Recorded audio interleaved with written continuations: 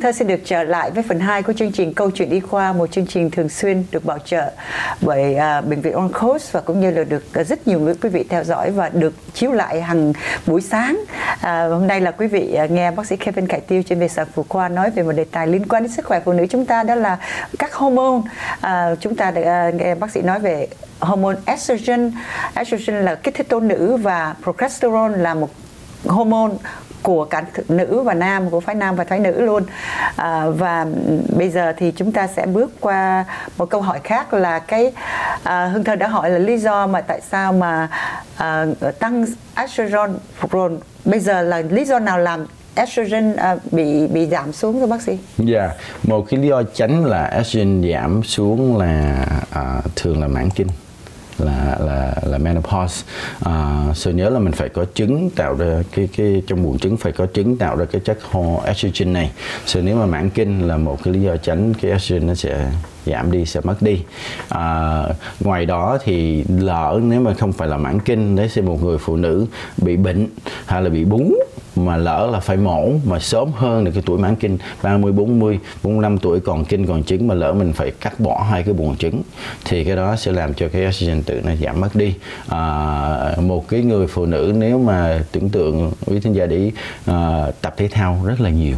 So mấy người phụ nữ mà à, trên Olympic mình coi đó yeah. à, chạy đua hay là bơi à, thường mấy người đó không có kinh à, tại oh. cái cái cái cái người exercise quá nhiều đó thì nó cũng ảnh hưởng cái trên não mình nó sẽ làm cho cái estrogen nó giảm xuống mất đi yeah. à, estrogen cũng có thể giảm sau khi mà một người sanh rồi là trong thời gian chưa bé bú à, so mấy cái này là mấy hoàn cảnh ngoài thuốc à, ngoài à, à, uống rượu ngoài cái stress à, nó sẽ làm cho cái cái cái estrogen nó sẽ giảm đi người nào mà bị cắt bỏ buồng trứng vì bị ung thư bác sĩ hả? Dạ đúng. Ung, so nếu mà mất buồng trứng, là do gì ung thư buồng trứng ừ. là phải cắt sớm hơn đó thì sẽ mất hai cái buồng trứng là sẽ mất cái à, cái cái cái, cái estrogen hay là không dạ. còn trứng nữa.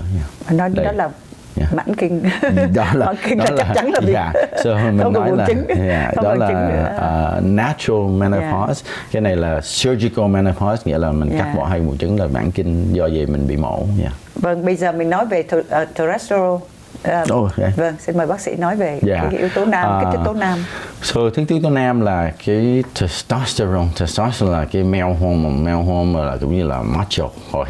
So, macho nghĩa là với tiếng giả để đàn bà, đàn ông hay khác khác nhau, đàn bà cũng như là nhiều more gentler nhẹ nhàng hơn uh-huh. nhiều bậc đàn ông ngược lại là rough so rough nghĩa là người ta có uh, mụn da dày hơn uh, nhiều lông uh, là cái muscle hay là cái xương của đàn ông nó chắc hơn ừ.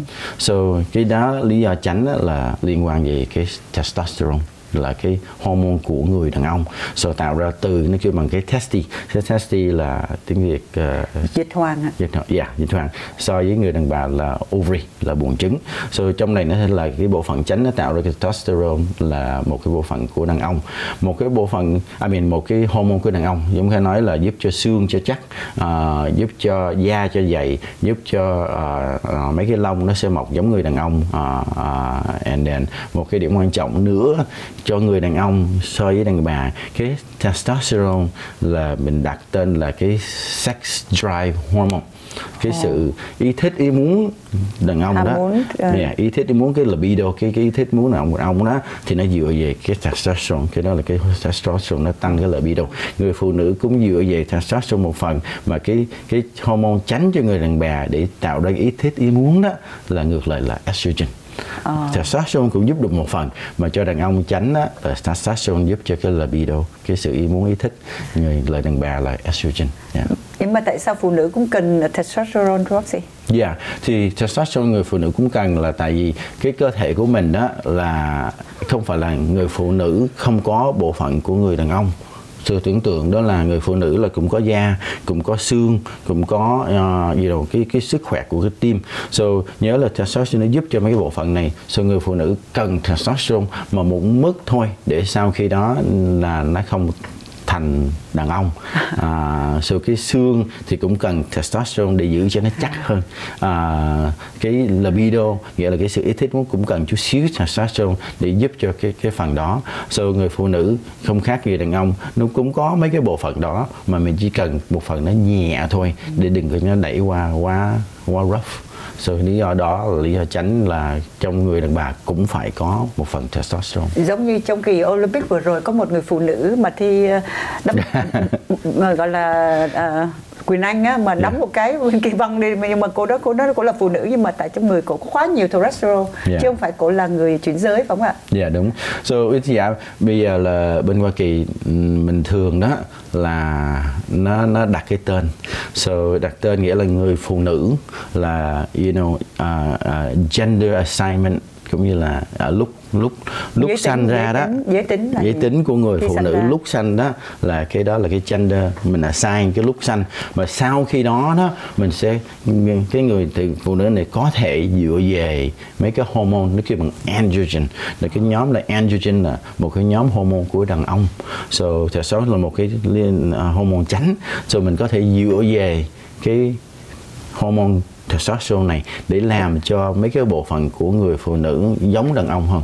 So Vintia để ý là có thể mình xài testosterone đến mức mà có khi là mất cái ngực à, cái bắp thịt nó rất là chắc hơn à, cái xương chắc hơn à, có thể là à, một nhiều rau hoặc là à, so nói chung là từ từ mình sẽ từ từ mình sẽ làm cho cái cái cái cái cái người phụ nữ từ từ biến thành một người đàn ông và là cái, mình đó, đó là cái hormone dạ vâng khi người nào muốn chuyển giới là họ phải chích nhiều như người nào yeah, dạ, muốn nữ thì họ phải chích nhiều estrogen mà yeah. nam thì testosterone yeah.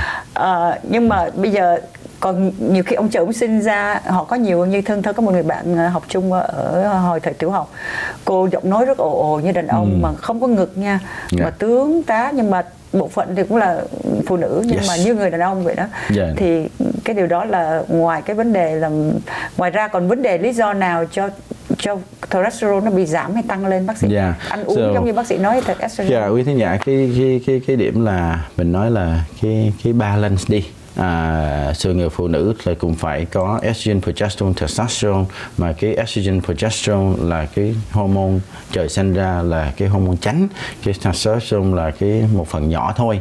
So nếu mà mình có bệnh hay là à, à, lý do gì đó mà cái cái testosterone nó tăng lên cho người phụ nữ thì mình sẽ xây mình sẽ bắt đầu thấy mấy kêu bằng secondary characteristic của người đàn ông nghĩa là mấy cái bộ phận của người đàn ông.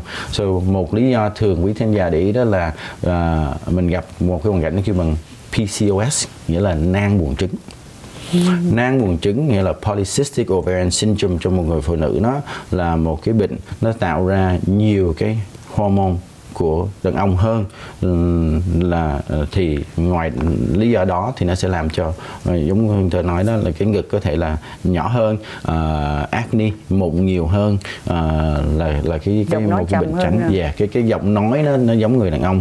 Uh, so một cái bệnh tránh là nó kêu polycystic ovarian syndrome hay là nang buồng trứng. Kinh nguyệt của người phụ nữ này cũng là không đều có thể là năm ta chỉ có một hai lần thôi. Uh, tại vì cái cái cái, cái hormone của đàn ông trong hoàn cảnh này nó, nó nhiều hơn. À, so ngoài cái polycystic ovary là cũng có mấy cái tumor cái cái cái cái, cái ung thư liên quan về nó kêu bằng cái adrenal uh, hay là ovarian. Uh, tumor nó sẽ tạo ra một cái ung thư đó nó sẽ tạo ra cái testosterone producing tumor nó dư cái chất testosterone này. And then ngoài đó thì mình có nói về đồ ăn mình nói về uh, thuốc uống thuốc chích uh, thì nó cũng làm cho cái testosterone tăng dạ, lên Dạ. Vậy là nếu mà cơ thể một người phụ nữ sản sinh quá nhiều testosterone thì sẽ ảnh hưởng chu kỳ kinh nguyệt nè, à, rồi có uh, mọc lông trên cơ thể. Yeah. Dạ. nhiều khi có hói đầu bác sĩ, có yeah. Dạ. có giờ bị hói đầu vô đầu không? Hói yeah, chán. Đúng. So balding uh, uh, thì cũng, cũng đó là mấy cái cái cái cái, cái rồi yeah. muscle cơ bắp là nó to yes. lên không? rồi giọng nói nhiều khi ồ ồ yes. rồi uh, sẽ khó mà mang thai đúng không? người phụ yeah. nữ mà có nhiều nó trứng không rụng yeah. vâng. so cái testosterone này nó nó nó, nó làm cho trứng không rụng đều so có nó làm khó có bầu hơn vậy nếu mà người phụ nữ muốn bổ sung muốn gọi là supplement cái estrogen hay là testosterone có có dễ không có thực hiện được không ạ? À, rất là dễ. I mean, ý khán giả đó là mình hôm nay thì cái pharmacy à, người bác sĩ à, dựa về thử máu có thể là đoán mình có bao nhiêu cái chất hormone này Ờ, thì mình có thể mình được. tạo ra cái thuốc để replace. À, thế cái cái cái cái imbalance đi. À, thế cái này hay là nếu mà mình muốn thêm thì mình cho thêm. À, so testosterone là cũng một cái hormone mình có thể mình replace mình thế. Mà testosterone thường là mình xài một chất kem hay là một cái chất để chích vô. À, cái estrogen à, à, progesterone thì cũng là mình replace được. Cũng như là mình chỉ nói về cái hormone replacement therapy là mình tạo ra để mình thế cho cái người phụ nữ. So cái gì cũng tạo ra được hết. Mà mình muốn bao nhiêu thì mình chỉnh theo cái đường đó thôi. Vân Đông là một người bình thường mình muốn cho nó vừa đủ để cho sức khỏe người ta tốt. So tánh tình bình thường không thay đổi tánh à, ngủ ngon à, có sức à, thì cái balance thì nó sẽ giúp cho người phụ nữ được hưởng cái đó và ngoài ra mình có cách nào câu hỏi chót là làm sao mình cân bằng balance được cái những cái hormone này một cách tự nhiên natural way ấy, Dạ, sĩ? Dạ, cái tự nhiên nhất ngoài cái tuổi của mình à, tại vì mình lớn tuổi cái đó xong thăm ngoài cái tay của mình là tại vì lớn tuổi hết trứng hết kinh rồi. Và ngoài đó thì cái sự ăn uống cái stress của mình à, nó sẽ ảnh hưởng à, cái, cái cái cái cái cách mà cái hormone nó tạo ra. So uh, stress ăn uống uh, exercise uh, and then uh, cái cân nặng của mình cũng cân nặng cái weight của mình à, mập nếu mà béo phì dạ. dạ. à, and then uh, uh, sometimes uống rượu. Uh, so mấy cái này đó là một mấy cái cái phần nó ảnh hưởng cái não của người bệnh nhân. So quý khán giả hiểu là cái não của mình là cái bộ phận chánh để truyền một cái hormone xuống cái buồng trứng để tạo ra cái estrogen với progesterone. So nếu mà cái chuyện gì mà ảnh hưởng cái cái cái cái cái cái cái brain cái não của mình đó thì nó sẽ ảnh hưởng cái sự tạo ra cái hormone này so giả dựa vậy đó là sẽ hiểu. So thiếu ngủ stress à, béo phì à, uống rượu à, không có exercise ngồi chỗ hoặc exercise quá nhiều thì nó sẽ làm cái stress hormone nó thay đổi trong cái bộ phận này cũng như cái điện nó bị hơi mát tí xíu nên sẽ ảnh hưởng mấy cái điện khác hết dạ. Vâng, cảm ơn bác sĩ Khải Tiêu rất nhiều. Tất cả mọi thứ chúng ta phải quân bình, balance thì mình sẽ ok. Đây là một đề tài à, chúng ta thấy rất là thích thú được học hỏi thêm từ những câu trả lời của bác sĩ Kevin Khải Tiêu. Một lần nữa số phone của bác sĩ Kevin Khải Tiêu à, nếu quý vị muốn chọn một người bác bác sĩ sản phụ khoa kinh nghiệm, tận tâm và vui vẻ và rất là giàu rồi kiến thức. Tiếng Việt lưu loát như bác sĩ. Kevin Khải Tiêu xin gọi điện thoại 714 418 9749 714 418 9749 và Hương Thơ nếu quý vị um, muốn giới thiệu là Breast Center của bệnh viện Orange Coast là một nơi rất là tốt có những máy móc mới để quý vị có thể khám vú và một chương trình sản phụ khoa với một phòng ốc sạch đẹp nơi để có thể quý vị chào đón thành viên mới trong gia đình. À, mến chào bác sĩ Kevin Khải Tiêu và hẹn quý vị vào lần sau. Dạ cảm ơn quý thính giả cảm ơn Hương Thảo.